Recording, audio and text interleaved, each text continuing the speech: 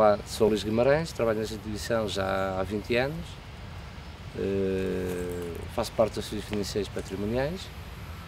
Ao longo da minha vida houve uma interrupção que tive que ir para o estrangeiro, mas pronto, o bom filho volta sempre à sua casa e aqui estou. O trabalho específico é ir aos gabinetes, inventariar todos os bens patrimoniais da UTAD, uh, onde o nosso trabalho é etiquetar, levantar os dados possíveis do, do, do material e depois uh, é tudo registado informaticamente, que é para, para dois para amanhã uh, saber o bem patrimonial que, é, que, o TAD, que o TAD tem. O meu hobby é a pesca, uh, sou, sou, sou fanático, é a pesca, é, eu amo a pesca, assim, assim dizendo.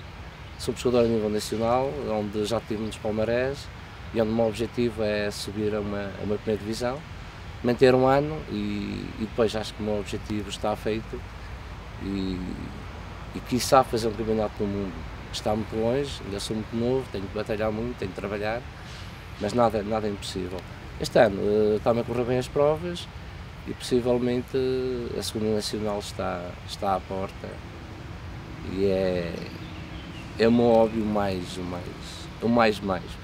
Os sítios que eu mais gostei foi, foi o campeonato regional, ficar nos cinco primeiros, nos cinco melhores, Fui fazer um associativo, ficar classificado nos primeiros 15 e subir à segunda divisão nacional.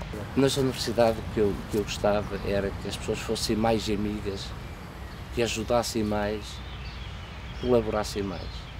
Acredito que esta universidade possa ir mais, mais além, porque temos vários, vários departamentos, vários projetos onde, onde, onde é destacada a UTAD a nível mundial e, e entre colegas, se houvesse mais união, mais amizade, eu acredito que poderíamos pôr uma mais acima da fasquia que está hoje.